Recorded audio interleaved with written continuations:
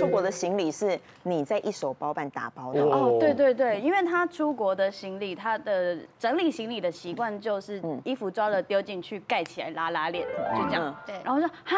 这叫整理行李，你整理好了，我整理行李要两个小时哎，这样，因为我会习惯每一个都要小袋分装好，然后像在玩七巧板一样，每个都要拼的这样正正去、正正方方的这样，然后所以到后来我就会很受不了他的那个方式，因为呃在一起呃这怎么讲，结婚了你出国的时候，有时候是两个人的东西一起装在一个箱子，他的收法我就没办法接受，所以干脆我来做，那我都帮他做好了之后，他以后就养成了这个习惯。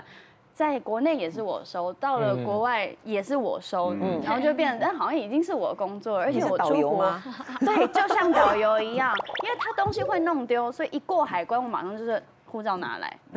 要不然放你身上你一定弄丢，所以不管去哪里，护照啦，或者是那个国家的悠游卡啦，或者是什么东西，车票一过过夹就要收在我这里，这样。哎，可是因为他每天出门前也是常会拉东拉西，他是花很多时间准备吗？他准备他自己的行头，很爱美哦。对他很注重自己的外在，因为我也是有一点被诈骗的感觉，因为我想说他就是一个吗？啊，婚前知道吗？因为他看起来就是一个干干净净的、很整齐的男生，所以我觉得他对生活上应该是很有条理、很有秩序的。对，却很会丢东西，丢三落四。他每天出门之前，我就要先问他手机、钱包、钥匙带了没。嗯，回家的时候，对，回家